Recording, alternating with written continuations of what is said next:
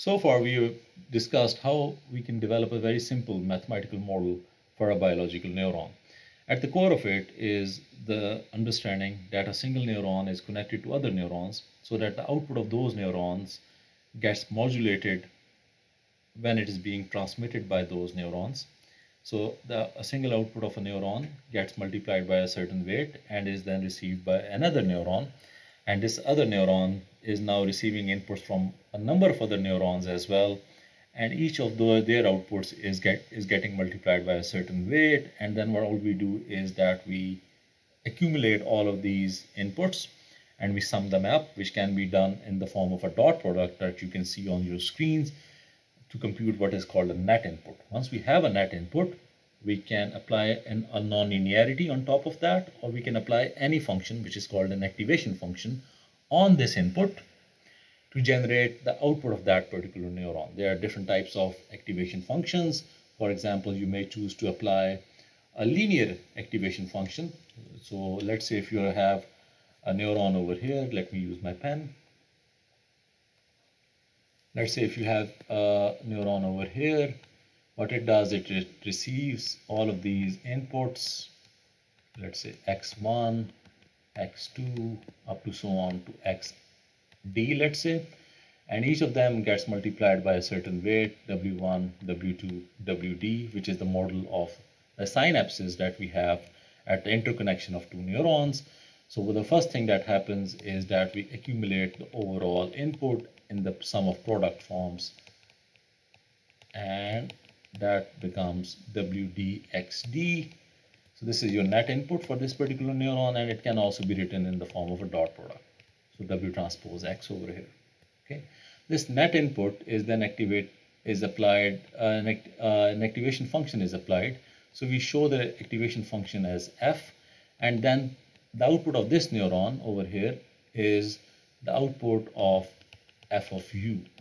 Okay, so that is the output of this particular neuron. I'm going to call this y. So if you have a linear activation function, then what that means is that the net input u gets transmitted as is.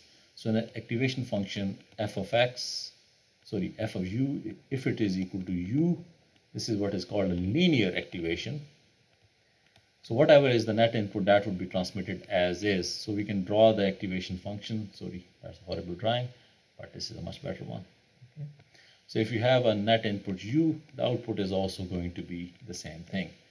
So we can have, that means essentially no activation, it's a linear activation, okay? We can have other type of activation functions as well. You can have what is called, for example, uh, rectified linear output. So that only generates an output whenever there is a, whenever the net input is positive. So its equation can be written as f of x or you can write it in terms of u as well. So f of u is going to be simply the max of 0 and u. So whatever the net input of the, if the net input of the machine learning of the neuron is negative, it does not fire or does not generate any output. But if it is greater than 0, then it essentially generates the same value.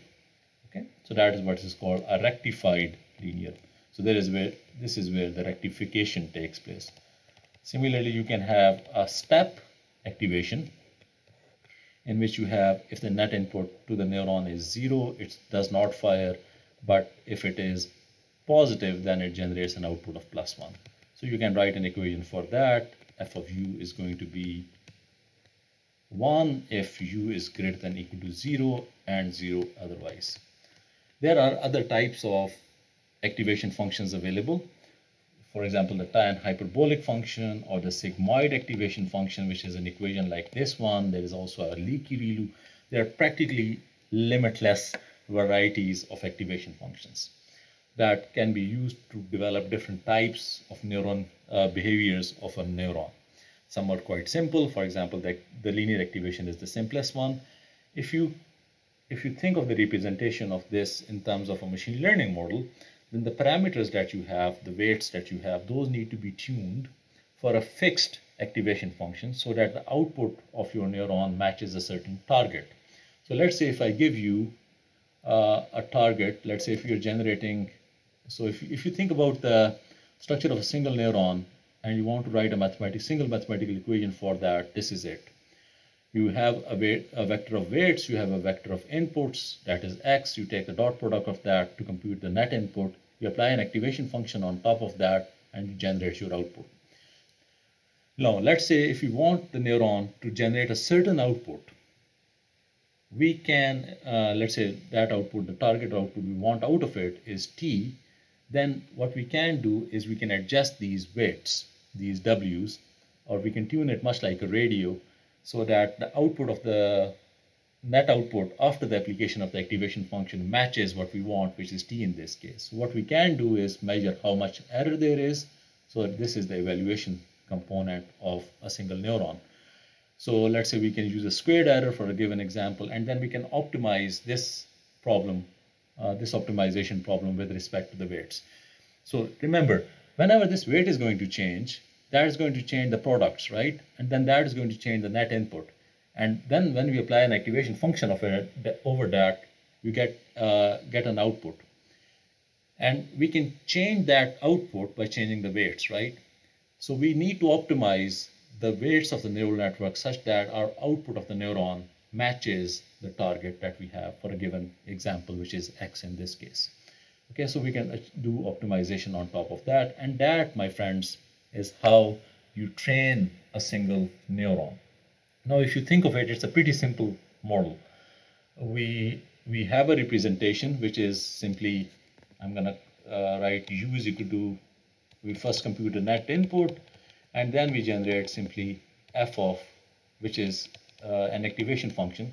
We apply an activation function to generate a certain output. So this is the representation component. And then we have an evaluation.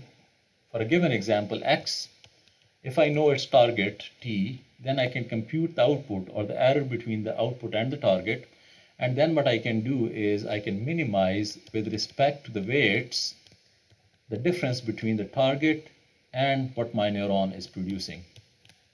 And that is the evaluation component, or and then we can optimize over that to tune these weights, and that is how a single neuron can be trained. We have already covered some very simple neural networks, or single neural networks, in which the activation function that we had was simply linear. So if you use f of u is equal to u, then what this becomes is t minus W transpose X. And we've already covered that when we were talking about linear models. And now I hope you understand why we spent so much time on understanding these linear models because they're a very simple form of even neurons. So if you have a good understanding there, I don't think there is anything here that uh, should trouble you. It's the same principle, representation, evaluation, and optimization, and we can code it up. We've already done that. I've given you a code in which we have a single neuron and now I'm going to call it, earlier I was calling it a linear model.